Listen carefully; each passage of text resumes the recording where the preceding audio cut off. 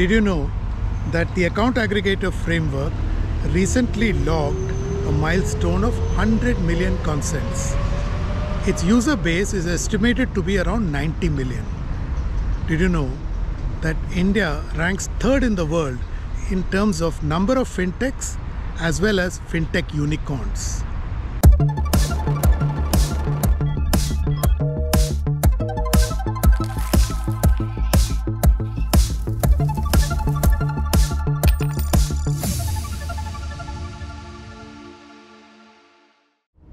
Welcome to another edition of Capital Calculus. I'm your host Anil Padmanabhan.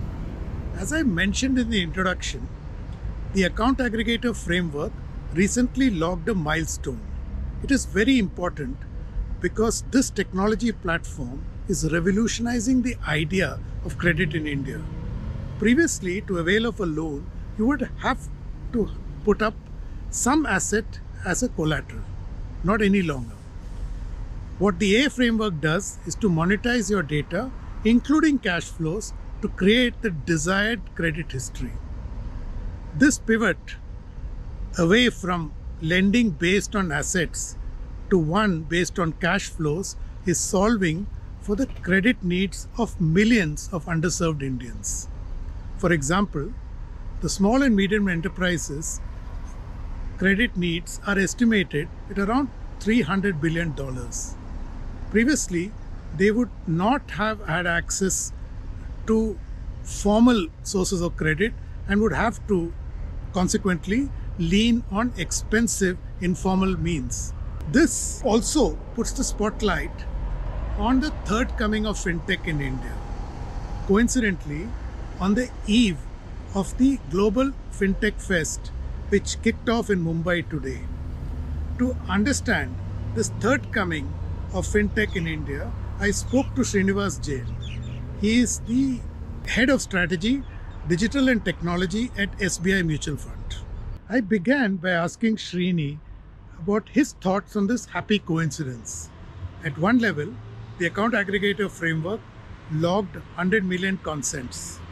At another level, ONDC, which is revolutionizing the idea of e commerce in India, just launched financial services as an offering. Yeah, absolutely.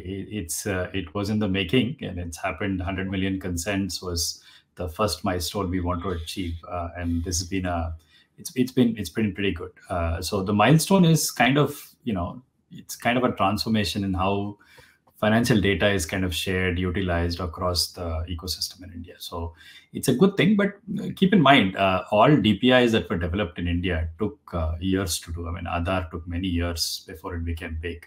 So did UPI, right? So uh, you you you needed a catalyst. Like Aadhaar took uh, a DBT as a catalyst. So you needed something like a a direct benefit to work for which Aadhaar was essential and Aadhaar was then took off, right? Uh, so similarly, uh, UPI had its moment with uh, demonetization and COVID, and, and that just skyrocketed. Now, those kind of events have not happened for other DPIs yet. So organically doing a 100 million transaction itself is a fairly big thing from my perspective. So that's that's good. Similarly, ONDC also requires another you know big push. It's been it's been revolutionary DPI. It requires a lot of these integrations and a lot of uh, visibility, and of course, many fintechs and others kind of uh, building on top of it. Uh, and that's something that we will see. 100 million, according to me, is a very very small piece, considering what let's say what UPI is doing today in terms of I think last month alone they did what two trillion transactions. So it's a, it's a the, the future is very bright for uh, fintech, especially building on top of DPIs. Srini, this uh, DPI is uh, actually uh, it's a very interesting concept, which India is among the global leaders in this. So, can you just take a step back and explain to our viewers the significance of digital public infrastructure, particularly the interoperability component of? So, one of the things you know, if you go back and see uh, uh, post independence, and it was a need of the hour that we build a public infrastructure for all of us, right? So we build the physical infrastructure, we build dams, beaches, roads, uh, you know, all of that stuff that was re required to improve productivity. It was improved to require, you know, efficiency, uh, and economic development. we've been doing it for 20 years. We still have to do a lot more. We, we still have to lay a lot of roads and railways, and but that's kind of an auto mode, right? It's kind of happening, and it's essential stuff. But the world has changed a lot in the last uh, 10 to 15 years. We've uh, revolutionized the way uh, digital penetration has happened. So it was needed for India to build a DPI, and it's also because you know we, we take a lot about uh, saying that we are the we are going to become the third largest economy in the world, but our our uh, you know our uh, per capita is still around three thousand dollars, right? So it's a it's a long way to go, and the only way we can think about all this uh, twenty forty seven uh, number of being a developed economy is to actually uh, you know innovate and revolutionize the stuff you know do things which people have not done in the world and build to scale that will ben- benefit everybody in the population so somewhere uh, this was the back of the mind uh, of the policymakers when they started uh, thinking about DPI. Of course, the key part of it is all confidence, right? We built very you know initial DPIs to help um, expand the KYC business or identity, and one above the other things started moving up. The good news about it is that we are being capital starved uh, country. We cannot think about investing huge money in building um, you know infrastructure that in individual entity can own and run so the idea was that the government gets involved in both thinking structuring and building and in, in a, a back end capability where anybody and everybody can take it up and build a front end capability so that was the whole idea of uh, dpi that was uh, being built so uh, you know you know today we've built it on a complete portable uh, framework. It is completely, you know, anybody and everybody who's regulated can use this requirement, uh, whether it's digital commerce, whether it was, um, you know, consent architecture, uh, and of course now, you know, other DPIs that we're building on health and others are actually, you know, improving both the quality and are bringing in high quality and innovative uh, solutions to the market, which today with our per capita and our commercial, what do you call uh, um, our amount of investing is uh, very very fairly limited. And this is how i think we will move towards the 2047 goal of being a developed nation. So digital public infrastructure is going to be the most critical um, you know investment that we will do for the next decade or so Srini, from what you just said, it must be very clear that two things stand out. One, the introduction of DPI, and then, of course, the fintech example is reducing right. friction in the economy, thereby will impact productivity. Also, isn't it democratizing access because you're now taking, or rather, you're able to take services to the customer rather than the other way around, you know? No, you're absolutely right. Um, you know, if you think about it, uh, the the market of India exists because of the size and scale. And the market was not a homogeneous market in the physical world. It, it was a you know different market. And if you go back and see how the fmcg companies look at it looked at it as a india as a market it was a people physically had to build all these capabilities. One thing that the internet did and the 5g penetration 4g penetration did and mobile penetration did was to make it a largely a homogeneous market the addressable market and thanks to that, the entire democratization piece that we have been talking about, inclusion, bringing financial services to the last mile, was possible. So there was a physical infrastructure that was built and DPI kind of leveraged on top of it. Today, there are two, three large benefits of DPIs. One is, of course, the tech stack is standard, right? Nobody has to develop, maintain, retain that stuff. So it's regulatorily okay because you're building on top of it. The second thing is the unit economics. The India is a very, very uh, you know everything has to be on a frugal level uh, and because affordability is very low. So if you think about dpi today of course initially people were crying that mdrs are low and all. Today things are kind of stabilized. So the unit economics works very well. The scale is so large that you know when you bring down the access cost to significantly low then the you know the affordability of that to the last mile then goes up significantly. You can see that in sachetization of financial products that are going, whether it's about small ticket loans or whether it's about access to information. All of this is happening. And the third thing that's there is uh, kind of breaking the monopoly, right? We are not, India is a very unique market where we have not got um, the big three of the world who will have their own data architect everything all the data stays with everybody uh, with only those guys. And if you have to access you'll have to advertise in the platform or pay for it.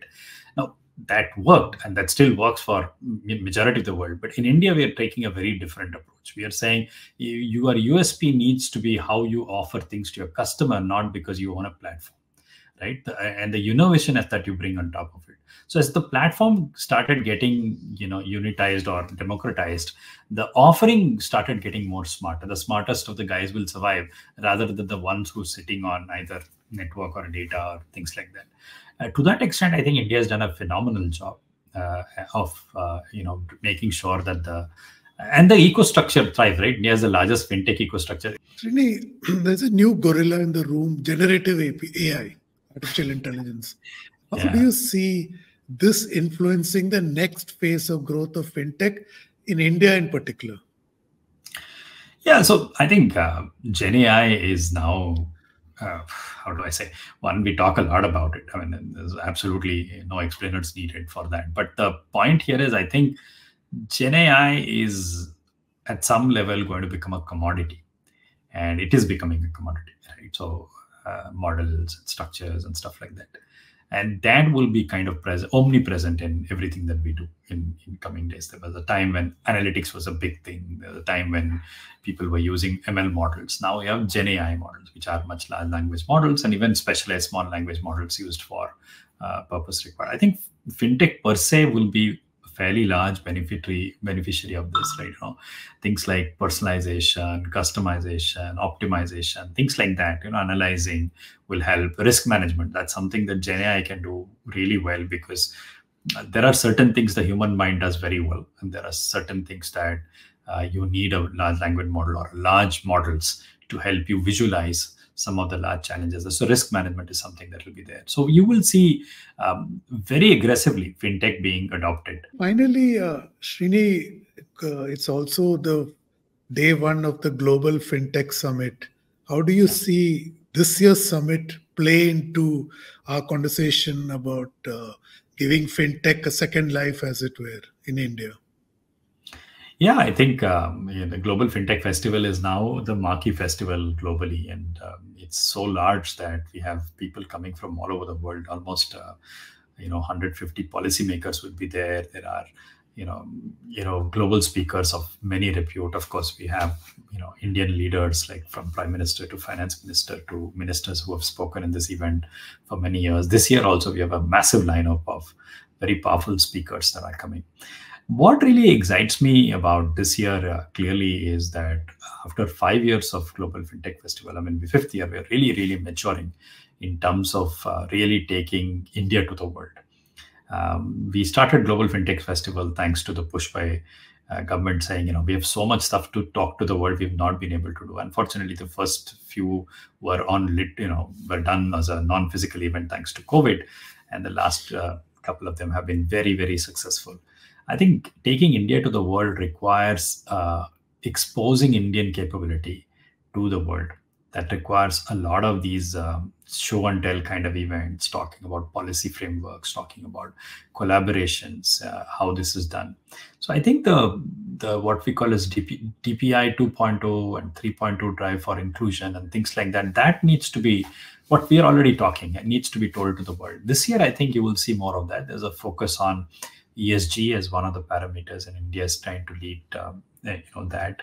Uh, there is a focus on AI, of course, is uh, talk of the town. AI is something that um, in, we want to showcase how AI is being effectively used in Indian fintech and how can be used from a global perspective. There's a lot more that's happening, and fintech per se is in India has matured so much. Um, it is now about giving them opportunity to talk about what they're already doing and how can they scale globally and it's also for global uh, you know market players to come and experience what's happening here in india. So if you think about it one of the most attractive thing that happens in gff 20 uh, this year i mean it's last year too is the footfall. We'll have like something like 80000 footfalls uh, happening during that period. It's massive and it's a massive uh, event for showcasing product. There'll be more than 100 plus product launches during uh, these three days uh, and there'll be a lot of policy frameworks done, a lot of closed door meetings, uh, I know, hundreds of closed door meeting with uh, with players, a lot of parallel session happening uh, in the event, and most importantly, what I really love about the energy that comes out of this uh, convention is largely the the ground floor, which is where all the 300 plus stalls are, where actual talent is showcased and actual products are showcased. You know, I, I, you know, I've been involved in the project, but I, I don't even physically have time to go around and see all this innovation. But I do, uh, I do read about it, and people put it out there, and I, I do meet many people. This is a fantastic, it's a buzzing event with so many innovators, so many uh, companies coming. It is not just the fintechs, it's the technology companies, it's the large banks and financial institutions showcasing. Of course, regulator themselves. Last year, CBDC was launched as part of the project in uh, in GFF. This year, also some very interesting products will be launched as part of GFF. Srini is right. The first phase of the digital public infrastructure in India was built on the foundation of Aadhaar and UPI. Similarly, DPI 2.0 was developed on the foundation of ONDC, Health Stack, and so on. The third phase of DPI is going to be built on the foundation of artificial intelligence. While DPI 1.2 and 2.2 solved for the problem of identity, democratized payments, and enabled more universal access to health insurance, DPI 3.0 is going to solve for the credit needs of millions of underserved Indians. Undoubtedly, a potential force multiplier. Thank you for watching. Don't forget to subscribe to Strat News Global on YouTube. Hit the bell icon so that you don't miss any updates. And please do share your thoughts, ideas, and suggestions with us. I'm available on Twitter at Capital Calculus. I'll be back next week with another episode. Till then, stay safe.